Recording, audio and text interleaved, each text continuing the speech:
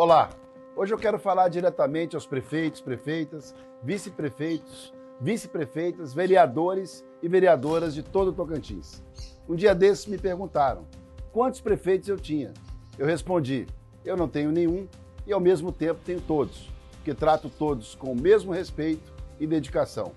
Hoje eu quero falar sobre o compromisso que se aproxima com a chegada das eleições de 2 de outubro. Como todos sabem, o meu candidato a governador é o Ronaldo Dimas. O Ronaldo é meu amigo há 35 anos. E mesmo assim, para apoiá-lo, eu pedi que ele fizesse um compromisso de honra com todos os municípios tocantinenses. Todos sabem a forma respeitosa como eu assumi o compromisso com o municipalismo, no nosso estado e em nossas cidades. Foi assim com a chegada da Codevasf, que já investiu mais de 500 milhões de reais no estado. Foi assim com o nascimento e o trabalho que desenvolvemos pelo Calha Norte em todos os municípios do estado. Portanto, sendo Ronaldo ex-prefeito de Araguaína por dois mandatos, ele sabe muito bem o dia a dia das cidades tocantinenses. E apesar disso, eu pedi a ele que fizesse de maneira pública e respeitosa esse compromisso. O nosso candidato, Ronaldo Dimas, apresenta agora a carta aos municípios tocantinenses.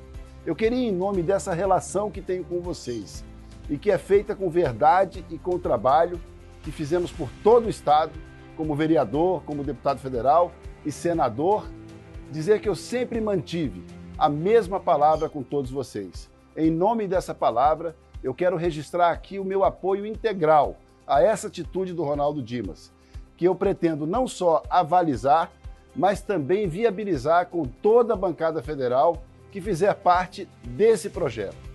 A carta do Ronaldo Dimas aos municípios tocantinenses também é meu compromisso. Se eu tenho credibilidade com vocês, se eu sempre tratei a todos com o mesmo respeito e a mesma dignidade, eu posso olhar nos olhos de cada um e dizer a todos vocês: essa carta eu assino embaixo. Eu sou Eduardo Gomes, municipalista e, acima de tudo, amigo de todos vocês.